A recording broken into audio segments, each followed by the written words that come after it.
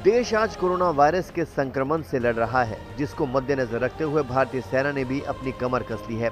Corona virus के चलते फैली इस महामारी से निपटने के लिए भारतीय सेना ऑपरेशन नमस्ते की शुरुआत करने जा रही है, जिसका ऐलान खुद सेना प्रमुख मनोज मुकुंद नरवणे ने किया। अगर हमने अपने देशवासियों की मदद करनी है तो हम ये मदद तभी कर पाएँगे जब हम खुद सुरक्षित होंगे और फिट होंगे। इसी को मद्देनज़र रखते हुए पिछले कई सप्ताहों से हमने दो चार एडवाइजरी निकाले हैं, जिनका आपका पालन करना बहुत ज़रूरी है। जो लोग ऑपरेशनल एरिया में तैनात नहीं हैं, जो एलसी या एलएसी पर नहीं है, जो सीआईसीटी में नहीं है, वो ज़रूर लॉकडाउन और अन्य आदेश जो सरकार ने दिए हैं, उसका पालन करें।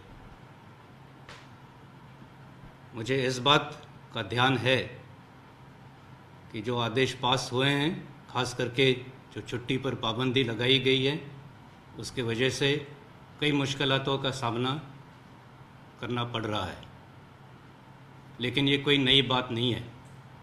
और पराक्रम के दौरान 2001-2002 में कई महीनों, आठ, दस महीनों कोई भी छुट्टी नहीं गया था।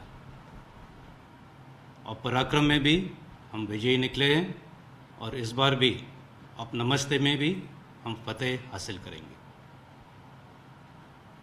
आप निश्चिंत होकर अपनी ड्यूटी करें।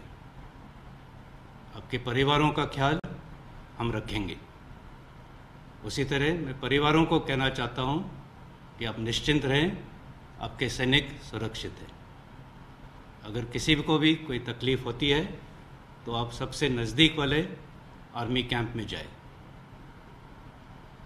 ये संदेश मैं अपने वीर नारी और वेटरन्स को भी देना चाहता हूँ कि आप अपना ख्याल रखें और सुरक्षित रहें।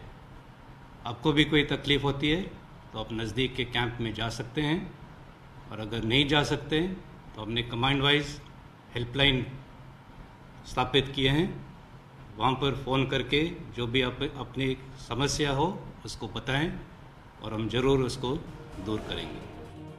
कोरोना से छिड़ी इस जंग के बीच भारतीय सेना ने कुल आठ क्वारंटाइन सेंटर स्थापित किए हैं। ऑपरेशन नमस्ते का ऐलान करते हुए army chief M M Naravane ने कहा कि सेना ने अतीत के सभी अभियानों को सफलतापूर्वक अंजाम दिया है और ऑपरेशन नमस्ते को भी सफलतापूर्वक अंजाम देगी।